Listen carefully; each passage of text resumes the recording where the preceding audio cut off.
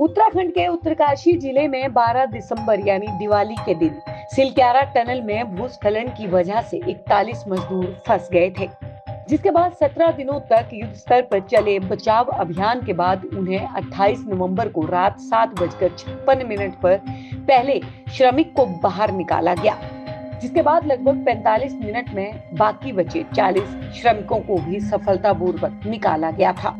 ऐसे में आइए जानते हैं कि श्रमिक टनल के अंदर कैसे फंस गए थे। दरअसल 12 नवंबर को रोज़ाना की तरह मजदूर टनल के अंदर काम कर रहे थे। तभी सुबह साढ़े पाँच बजे अचानक भूस्खलन होने लगा। इस दौरान कई मजदूर बाहर निकल गए, परंतु अचानक निर्माणाधीन टनल का 60 मीटर हिस्सा धस गया, जिसकी वजह से 40 मजदूर सुरंग के अंदर फंसे रह गए। बता दें कि ये मजदूर टनल के अंदर सिलक्यारा छोर से अंदर गए थे। जिस सुरंग में श्रमिक फंसे थे, उसका लगभग 2340 मीटर का हिस्सा तैयार हो चुका है। इसी हिस्से में भूस्खलन के बाद पहाड़ का मलबा 200 मीटर की दूरी पर गिरा हुआ है। मलबा करीब 60 मीटर लंबाई में है, यानी मजदूर 260 मीटर के ऊपर फंसे थे। इन मजदूरों के पीछे जाने के लिए दो किलोमीटर का इलाका है। 50 मीटर चौड़ी रोड और दो किलोमीटर लंबाई में सभी श्रमिक रह सकते थे। वहीं प्रशासन ने सुरंग में फंसे मजदूरों को तनाव मुक्त रखने के लिए बाहर से कई तरीके अपनाए। प्रशासन के द्वारा श्रमिकों को समय व्यतीत करने और उन्हें व्यस्त रखने के लिए लूडो, ताश और शतरंज सुरंग के अंदर भेजे गए थे। साथ ही मजदूरों को योग करने की भी सलाह दी गई। सिलक्यारा टनल में फंसे 41 मजदूरों के सुरक्षित बाहर निकलने के लिए देश भर में दुआएँ की जा रही थी।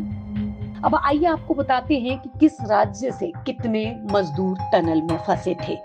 तो आपको बता दें, उत्तराखंड से दो, हिमाचल प्रदेश से एक, उत्तर प्रदेश से आठ, बिहार से पाँच, पश्चिम बंगाल से तीन, असम से दो झारखंड से पंद्रह और ओडिशा से पाँच मजदूर टनल के अंदर थे। बता दें कि बचाव दल ने शुरुआत में हरिजोंटल यानी क्षैतिज खुदाई शुरू की ताकि सीधे रास्ते से सुरंग में फंसे मजदूरों तक पहुँचा जा सके। परंतु इस प्रक्रिया में बचाव दल को काफ़ी दिक्कतों का सामना करना पड़ा।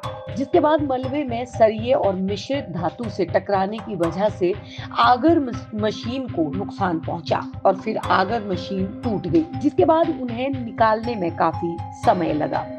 बता दें कि पिछली असफलता से आगे बढ़ते हुए वर्टिकल खुदाई शुरू की गई, परंतु बाद में रेट माइनिंग की प्रक्रिया से खुदाई की गई।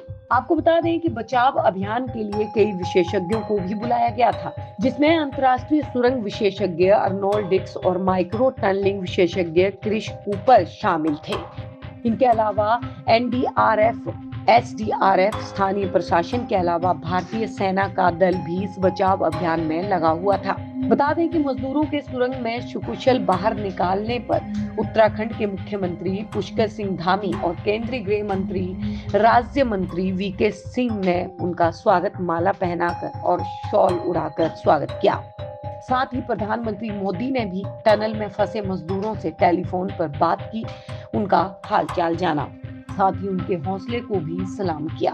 बता दें कि मजदूरों के टनल से बाहर आने पर उनके परिजनों के साथ साथ पूरे देश में खुशी छा गई है।